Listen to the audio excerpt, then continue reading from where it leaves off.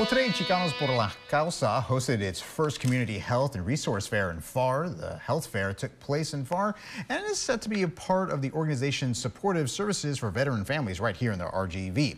The event aimed to provide veterans and their families with access to health resources such as disability claims, mental health care, and free physical and vision screenings.